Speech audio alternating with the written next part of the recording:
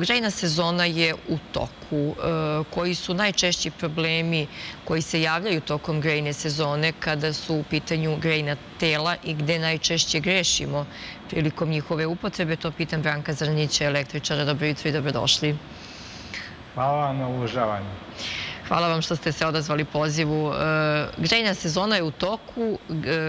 Mnogo ljudi koriste razna grejna tela. Gde se najčešće greši? Znate šta, najčešće se greši što pre sezone se ne provere svi ti uređaji. A moje savjet svima da pre nego što počne zimska sezona da e, pozovu majstora da im pregleda ako imaju teja peći ili neke druge ovaj, načine grejanja. Da to e, kad dođe grejna sezona možda radi bez problema i da ne morate u toj grejnoj sezoni zvati majstore da vam popravljaju te električne uređaje. Najčešće e, e, ja savjetujem svima, pošto većina ljudi se greje na TA peć. To je po mom nekom ovaj, iskustvu najbolji način grejanja iz razloga što je bezbedan. A skrenuo bi pažnju mnogima, e, svake godine se dešavaju paljevine upravo zbog neodgovornog korišćenja, pogotovo grejalica. Naj opasnije su e, kvarcne grejalice, jer ljudi, moj jedan, konkretno moj jedan mušterija je dogrevao u Mirijevo, na Mirijevo 4 dogrevao je svoju ovaj, prostoriju gde je živeo i on je usmerio kako je okrenuo tu kvarcnu grejalicu ka svom uh, uh, ormanu. I upalila se iverica jer toliko ta temperatura je jaka toliko bije, upalila se iverica. Tako isto može da se upali i tepih i sve. Zato ja savjetujem svima kad koriste pogotovo grejalice, ne računajući ove uljne radijatore, oni su bezbedniji, ali pogotovo grejalice, da su uvek tu negde blizu jer zna da se desi recimo kod tih grejalica koji su kaloriferi najčešće. A kako je najbezbednije, gde je najbezbednije postaviti grejalicu? Najbezbednije je postaviti blizu e, prozora.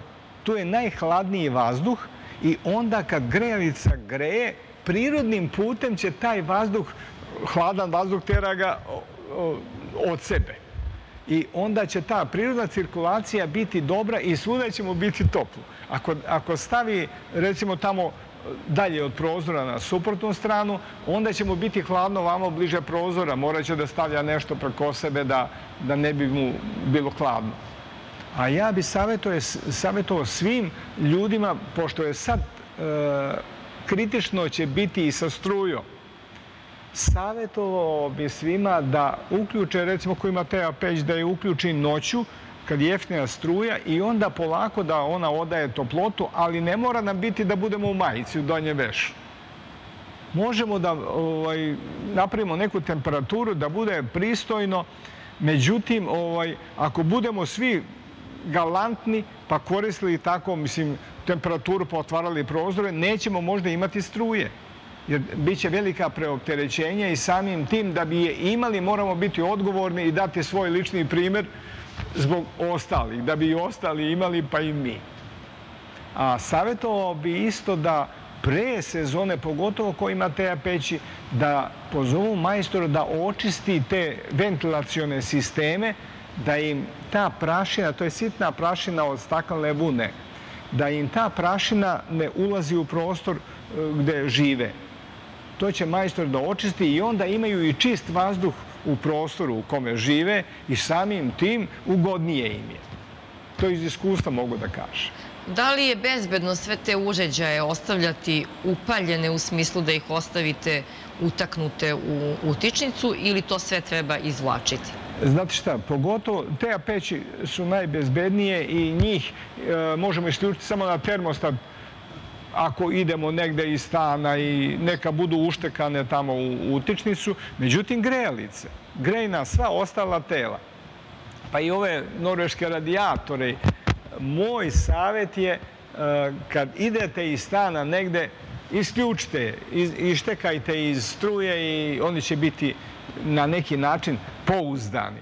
Da ne bi rizikovali, zna da se desi, e, pogotovo e, ljudi koji ne znaju, treba im skrenuti pažnju na ono što možda izazove problem. Pa i ovog puta bi skrenuo pažnju ljudima na ove produžne gajtane. Jer tu se najčešće dešavaju paljevine iz razloga što ti produžni gajtani, pogotovo sad ima za sitne neke novce, ima e, produžni gajtan, on samo liči na produžni gajtan. Ali on nije za neke potrošače veće od 1000 vati, a svi, sva grejna tela su veća od, od 1000 vati. A kako to da znamo? Da bi to znali, ne morate biti nešto mnogo stručni. Onaj koji je najskuplji, taj je najbolji. A uvek tražite da taj produžni gajtan ima tri žice od 2,5 mm. Ne od 1,5. Jer 1,5 mm dozvoljava potrošnju do 1,2 kW da bude bezbedno. Međutim, ovaj što je od 2,5 mm kvadratna, on dozvoljava do nekih najviše 3000 vati. Jedan gledalac nam se javlja. Dobro jutro, odakle se javljate i kako se zovete? Iz Novog Sada zovem. Kako se zovete, kako je vaše ime? Saša. Saša, koje pitanje imate za naše gledalce? Pardon, za naše gosta? Zanima me samo ovaj, ovaj panel radijatori. Da li su bezbedniji od kalorifera? Mnogo su bezbedniji i pouzdaniji, samo moj vam je savet, bitno je da taj e, radijator bude uz prozor, jer tu mu je najveći efekat. Međutim, ako ga stavite na neki e, drugi od ova tri zida, neće imati efekat koji bi imao da je uz prozor. To je vrlo bitno da naglasim. Probajte, vidit ćete i uvjerit ćete se u to što vam pričam. Saša, ili imate još neko pitanje? Da, ovaj, ja sam kupio neke, neki produžni kabel, platio sam ga negdje oko 3-4 hiljade, ja mislim da je košto, na popustu je bio, sad ne znam ko, koje je to debljine, da li on bezbedniji od ovih nek što kupiš u, na primjer, kod Kineza na pijaci? Da bi bili sigurni u to ne treba vam neka velika stručnost.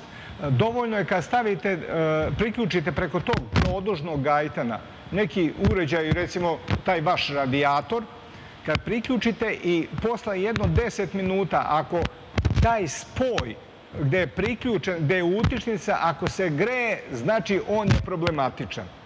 A moj vam je savjet, Eh, sad sam se upravo setio toga šta, gde ljudi isto greše. Taj produžni gajtan obično bude eh, malo duži, pa ga ljudi saviju u krug. Ni pošto u krug. Jer ako stavite gajtan, nakon zamotate ga u krug, to je faktički grejač. I tu će se upaliti na tepihu.